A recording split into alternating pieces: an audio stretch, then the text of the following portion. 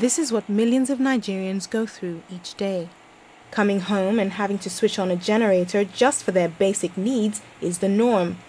The current president, Goodluck Jonathan, says providing steady electricity for the people is one of his main priorities. But he may have to pull off a big miracle in a short while if he hopes to change millions of minds who, up till now, are used to hearing big promises but seeing very little or no progress at all.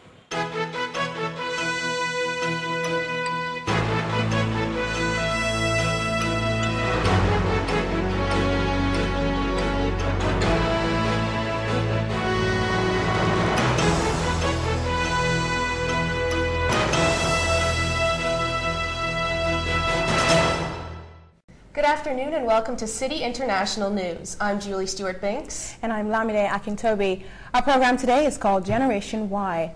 Recent statistics have shown that in the developed world, people under 30, known as Generation Y, make up the first generation in a century to expect a lower standard of living compared to their parents.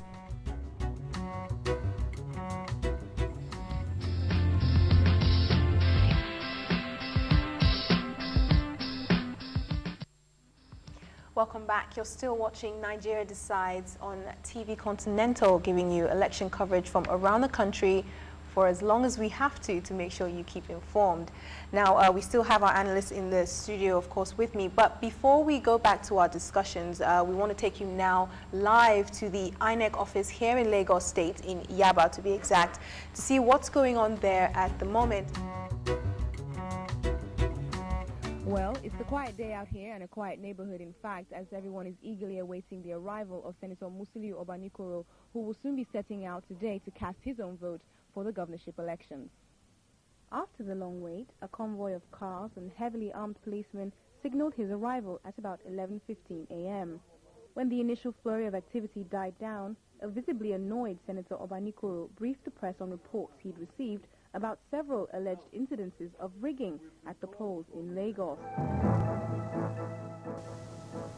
Governorship candidates from several political parties in Lagos State are calling for the immediate cancellation of the elections which took place yesterday. A tense mood quickly gave way to a hastily arranged press conference where some aggrieved governorship candidates joined forces to complain about the electoral process. There is nothing personal in what we are doing here. We're just trying to ensure that there is a free and fair election in Lagos State. I'm not drowning, I'm standing firm.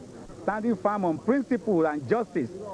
It's unclear at this point what exactly will happen in the coming days, but what is clear is that this group of former competitors will cast aside their conflicts to make sure their voices are heard. Lamide Akintobi reporting for Channels Television News. Standing here this morning at the Tafawa Balewa Square venue of the inauguration of the soon-to-be governor, the air is heavy with expectancy and excitement as Lagosians gather to witness this historic event.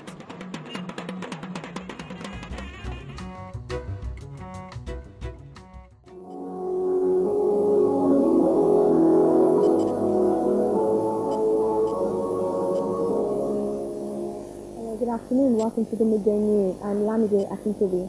A bomb has exploded at the campaign headquarters of one of the House of Representatives aspirants in Asaba, the Delta State capital. Our correspondent... You're watching the Midday News on Channel Television and we're broadcasting from Lagos, the South of Business News with Lamide Akintobi. Lamide. Thanks so much, Becca. Good afternoon. Welcome to Business News. First up is company news, and we're looking at Cutix PLC, which is listed on the second tier security subsector of the Nigerian Stock Exchange.